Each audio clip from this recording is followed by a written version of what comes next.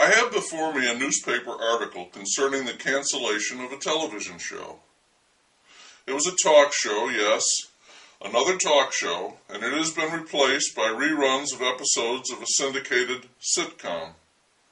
I never saw the show myself, but the article said that it had been reaching barely more than one million homes a day, and that was the reason for its demise.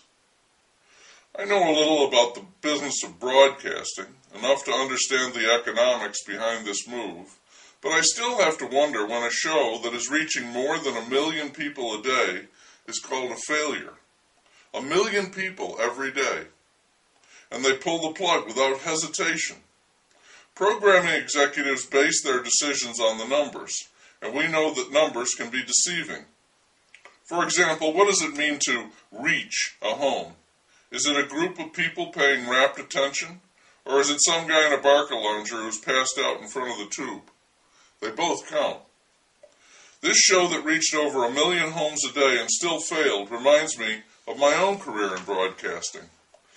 I'm not sure whose idea it was. My guess is that the three of us were riding around, heading who knows where or why, and the car radio was on, and one of us said, Shut that thing off. It was probably Davy. He had a low threshold for crap of any sort. Fix, who would have been driving, would have ignored Davy's request, so I must have turned it off. And then most likely I said something like, What a waste. All they do is blob, blab, and play the same stuff over and over. That's their format, said Fix. I know it was Fix who said that. Only he would defend such stupidity. That's what they're supposed to do. Fix was happy when people did what they were supposed to do. Yeah, but think what they could do, I said.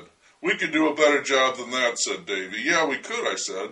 You guys, said Fix, you're all talk. You kill me. You think you could do anything better than it's being done. You're full of it. Maybe so, I said, but Davy's right. We could do a whole lot better than that. Oh, yeah, said Fix, then why don't you get your own show? Because I don't want to do a radio show, I said. Why not, said Davy. Yeah, why not, said Fix. I don't know, I said. As usual, I was caught in the middle. I looked at the two of them. Fix was driving, Davy was next to him on the front seat, and I was leaning over the top of the seat from the back between them. Fix was a guy who thought that if he could get his hands on the right equipment, he could run the world. Davy didn't think the world was worth running. We're not going to do it, are we? I said, knowing that full well that we were. I'll check it out, said Fix. The next day he went to the offices of the only radio station we could pick up in his car.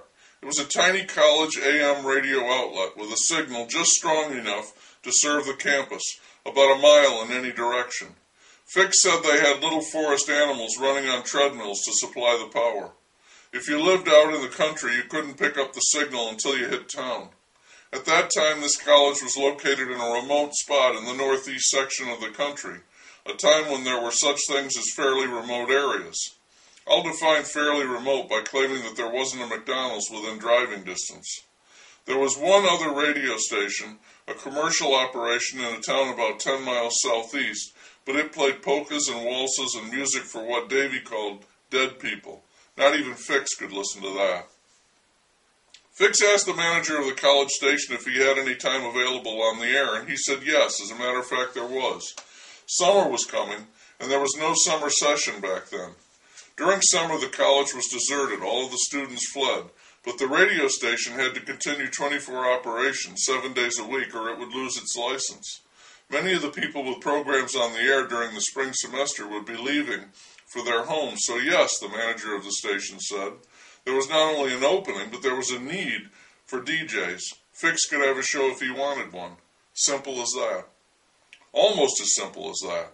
There was one minor hitch, the station manager said. Did Fix have a license? He had to have a license in order to go on the air. Fix said he didn't have a license, but he'd get one if there was time. No problem, the manager said. All you have to do is study this booklet, drive down to Boston, pay 25 bucks, take the test, pass the test, get a license, come back here, and you're on the air. Fix came home with the good news. He told us we were in. We could actually have our own radio show. And while we were saying, okay, great, he told us that before we started, we'd have to go down to Boston, take a test, pay 25 bucks to get a license. Davy and I looked at each other. We didn't mind going down to Boston. Fix would drive, and we knew some folks down there. We could have a good time. But we didn't want to take any tests, and we didn't want to shell out 25 bucks, and most of all, we didn't want to get any license. Fix was all for getting a license. He liked pieces of paper signed by officials that authorized him to do things. Davy and I felt differently. We thought licenses were an abridgment of freedom. You had to get a license to drive, a license to buy and sell, a license to fish and hunt, a license to get married, a license to own a dog. Davy had a great dog, Lucy, but no license. Davy said the time would come when everybody would have to get a license in order to take a leak. He said the radio show was a good idea, but not worth getting a license. We could count him out. Fix started in on him, telling him that he had it backwards, as usual, that what licenses did was set you free. All you need is a piece of paper, he said. It's a license to steal.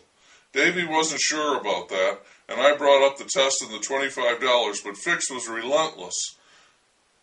As always, he wore us down, and we wound up driving down to Boston, shelling out $25 apiece, taking the test, and passing it.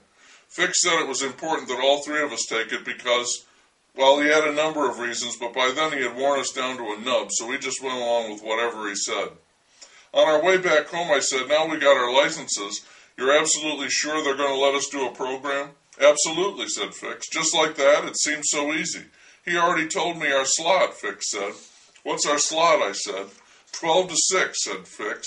Afternoon, said Davy. No, night, said Fix. You mean midnight to six in the morning? I yelped. Fix nodded.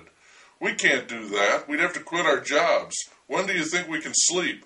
Relax, Fix said. It's only on Saturday night. We can sleep on Sunday. Midnight to six on Saturday night, I said. That's not a slot, Fix. That's a grave. Nobody's going to listen then. So, said Fix, I couldn't think of an answer to that.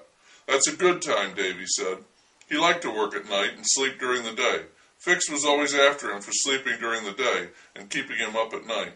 Fix gave a laugh and said, Hey, we're going to be DJs. I don't want to be a DJ, said Davy. I hate DJs. You hate everything. You can be whatever you want to be, said Fix. Okay? A DJ, said Davy. Fix, you're unbelievable. Only to you, said Fix. What about me, I said. You don't count, said Fix.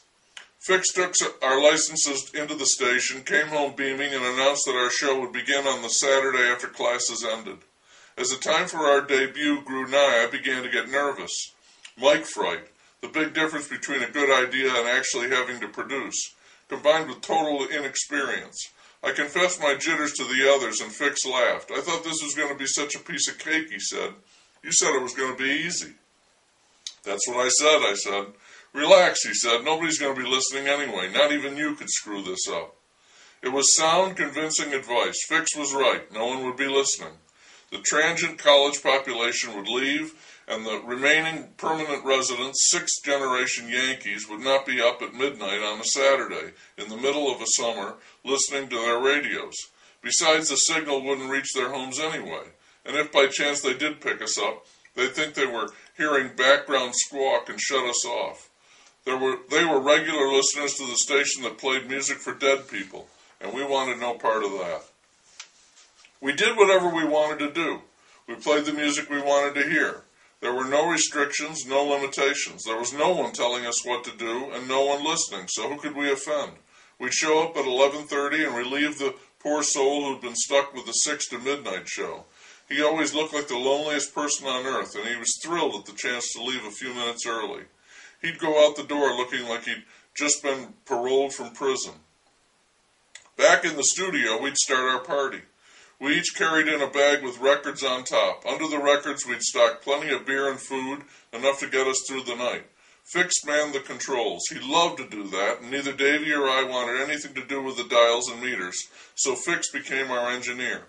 Davy didn't like to talk because that's what DJs did, so I did most of the announcing, if you could call it that. And we all played music, rock and roll, jazz, country, whatever we wanted. That's, this was before alternate rock stations began springing up on the FM dial. We had no format for our show. We did whatever we wanted to do. That was the name we gave the show, by the way, our very own radio show. Dave called it, Davey called it the program without a program. Fix played what he called cuts from his favorite albums, long songs that were never aired on any other station. I told him to stop calling them cuts because he sounded like a butcher, but he never listened to me about anything and continued to play his cuts. He introduced himself as Captain Midnight. We were stunned the first time we heard it. He said a person in his showbiz needed a showbiz name. He thought he'd chosen a good one. This is your captain speaking, he'd say when he went on the air. Davy couldn't get over it. Fix calling himself Captain Midnight, and when he stopped laughing, he started calling himself Jet Jackson. I became Ichabod Mudd, with two D's. We pretended to be flying around in spaceships and drinking a lot of Ovaltine. Davy played songs, and so did I, and sometimes read short, short selections from books of poetry and prose. We also started making up stuff. We made up the weather and we made up the news. Nixon was president then, and we made up a lot of stuff about him and Spiro Agnew and announced it as late breaking news. A lot of what we said was not very nice, but we knew nobody was listening, and there were no sponsors to worry about either. Davy and I used to do impromptu skits in which Betty Agnew and Pat Nixon shared confidences on how their men were in bed. Pat called her man Mr. President, while Betty encouraged Mr. Vice. We did not have to read a single ad the entire night or play any of the carts stacked by the microphones. Fix wanted to play some of the carts, but that was only because he wanted to play with everything in the studio. Instead of that, we made up our own ads and sponsors. We had Dr. Sperling's authentic no fat lard. We talked about how Dr. Sperling had invented this process that took the fat out of lard, and now people could kick without, cook without fear of grease. And this was years before the cholesterol scare. We had Mother Turner's guaranteed all beef turkeys. Mother Turner was just a figurehead like Betty Crocker, was not just a figurehead like Betty Crocker or Aunt Jemima. She actually existed. Fix did her voice sometimes, and that got more laughs from Davy than Captain Midnight. Mother Turner raised her turkeys the way God intended from scratch, and the result was an all beef turkey, which we promised would fall apart on your fork and melt in your mouth. On a more serious note, we also promoted complete sexual dominance, the cologne for people who mean business. One splash, we promised, and you'll be in total control. Then there was the first or second National City State Bank, which offered a weekly special on old wrinkled paper money. If you had any, we encouraged you to bring it in, and we'd pay you 10 cents on the dollar for it, no matter how crummy it looked. No one took us up on the deal, of course, because no one was listening. As the weeks went by and our show got wilder and we thought better, we became more and more convinced of this. There was no one listening. It passed from being a firm belief into an accepted fact. Nobody, but nobody, was listening to us. That didn't discourage us, not one bit. We didn't give a hoot. It was our very own radio show, after all. On the contrary, it gave us a heady sense of freedom. We couldn't make a mistake or bother anybody, and so we just let it all hang out. We had a good time. Drank a mess of Ovaltine. The studio was on the third floor, the top floor of the building, and it had a huge old ceiling to floor windows that we could open at the bottom. That allowed us to sit out on the ledge, beer in hand, and take in the quiet of a cool summer night when it wasn't our turn at the mic. We'd also invite friends to come with us, help us party our way through the night. And then, as six o'clock approached and our replacement had not appeared, we'd reach into the station's classical record collection, pull out a symphony, and play what Fix called Miles of Mahler. Gustav's second was his favorite. It played about 36 minutes on a side, I think. Then we'd leave the empty studio, drive to the room of the unfortunate person who was supposed to be relieving us, bang on the door, wake him from a sound sleep, and tell him he had about 15 minutes, and then the stu- station would begin playing what Fix called skip. On the air, we'd tease all the people who weren't listening to us sometimes. We'd offer free beer and cigarettes to the tenth caller.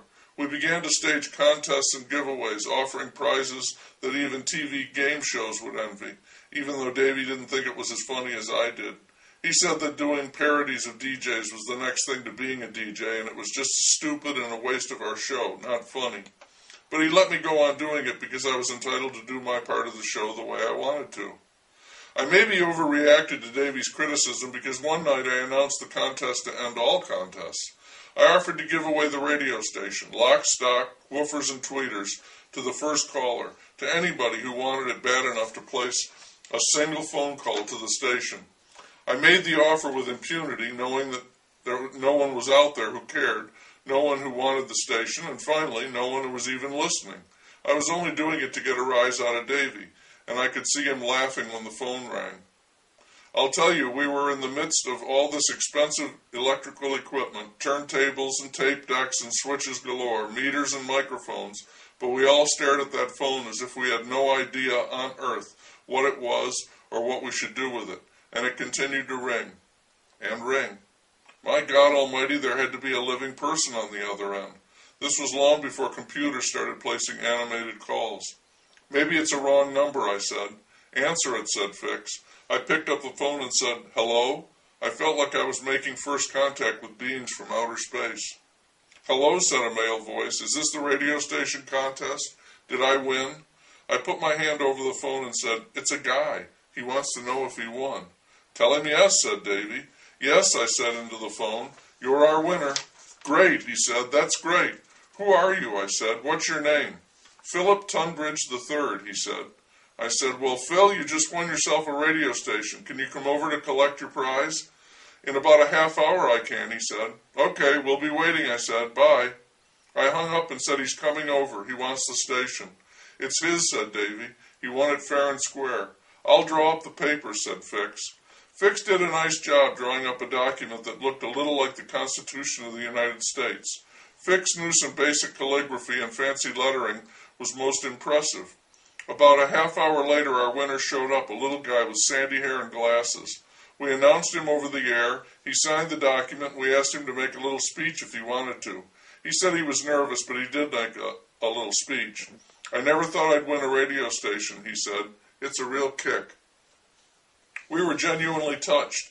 We asked the new winner if he'd mind if we played some music on his radio station, and he said no, not at all. Go right ahead. He didn't know how to work any of the equipment anyway. We asked him how he'd come to be listening at that hour. It was nearly 4 a.m., and he said, Oh, heck, I listen to you guys every week. You could have taken my clothes and hung me naked by my heels from the Statue of Liberty's torch. You do? I said. Davy and Fix were as astonished as I. You do? They said. Sure, said Phil. He said we could call him Phil. With a smile. You guys are great. We are, I said. This was incredible news. Not good news or bad news. It was too amazing for that we not only had a listener, but we had one all along, and he liked what we were doing. He was a big fan of the captain, Jet, and Icky. We asked Phil how he came to be listening to a radio at that hour on a Saturday, mo- Sunday morning. He said he was a student at the college and he'd been offered a grant to conduct research over the summer in the psychology department. Some research, Phil said. All they want me to do is take care of the animals for them. Phil was in charge of feeding pigeons, mice, rabbits, and turtles. He was also in charge of watering them and cleaning the cages 17 turtles, 15 rabbits, 21 pigeons, and 34 mice. I, I have to do it in the morning, the afternoon, and at night. At night it takes longer because I have to weigh the pigeons and measure turtle urine, he said. You're on a grant that measures turtle whiz, said Davy. That's not what I signed on for, Phil said, but that's what they let me do. And at night I listen to the radio. It keeps me company. The shows during the week are nothing special, but you guys are great. I kind of look forward to Sunday nights, Saturday nights. And now this. I don't mind saying that we took a shine to our devoted listener and new boss. We let Phil play some records and he announced them with a kind of awkward flair. Even Davy, who didn't go in for any of that jock jizz, said Phil did a real good job. Since Phil now owned the station and was such a big fan of our show, we decided to rename it in his honor and did so over the air changing it from our very own radio show to the Phil Tunbridge III sound explosion. The sound explosion bit was Fix's idea. Davy and I didn't think much of it, but Phil liked it, and he was the boss, so we went with it. At the end of the night, we put on a Mahler symphony, I think it was the sixth, and told Phil that the other people at the station might not understand about him winning it in a contest. Fix drew up another document, perfectly legal but not as fancy as the first, in which Phil signed over all rights and titles to the previous owners of the station. We tossed that one away as we were leaving, and Phil kept the original as a reminder of his winning. We drove him back to his lair, lab. Thanks, guys, I'll never forget this, he said. We were so amazed at this turn of events that we forgot to wake up the morning guy, and as we were leaving the campus, we heard the sound of the, the end of the classical music and the beginning of Skip. And I must say, from the viewpoint of a broadcaster regarding his audience, that we didn't forget Phil either. The rest of the summer, for the duration of our show, we dedicated songs to him, asked for requests, had a Phil Tunbridge III hotline, and kept the name of the show. Even came up with a few products especially for him, like the Phil Tunbridge III internationally calibrated turtle urine atomizer and Phil's Magic Beans. The changes in the show might have been slight, but in an intangible way, everything was different. We knew Phil was out there and we did our best to please him. We worked harder than ever to put on a good show. The big addition to what we were doing was that after Phil showed up, we did it with a bit more heart. And I think we did a good job. Looking back on it now, I honestly feel that though our listeners, our demographic, you might say, were few, that is, one, we reached him very, very well.